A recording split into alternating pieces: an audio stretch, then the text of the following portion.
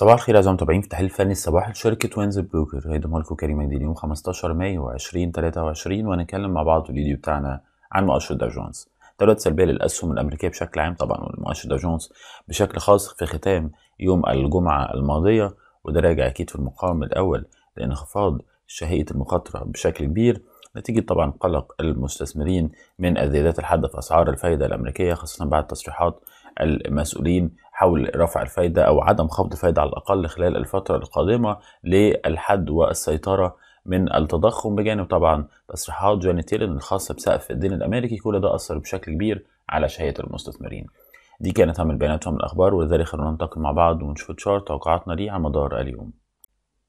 زي ما واضح معنا على ال chart طبعا الأداء الضعيف لمؤشر داو جونز وعدم وضوح الاتجاه طبعا بشكل كبير ولكن طبعا في تضارب من المؤشرات أداء إيجابي على ال SAR أداء إيجابي سلبي على مؤشر ال stochastic تقاطع متوسطات سعر الأسفل ثبات السعر أسفلهم وثباته أسفل نقطته المحوريه عند 675 كل ده بيضغط عليه ولكن إيجابي على ال EMA وإيجابي على ال flat trend ولذلك التضارب ده هيخلينا نلتزم الحياد ولكن الأقرب طبعا نجاحه في كسر نقطة الدعم.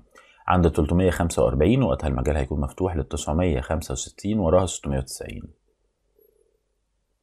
مرة تانية كسر 345 وراها 965 وراها 690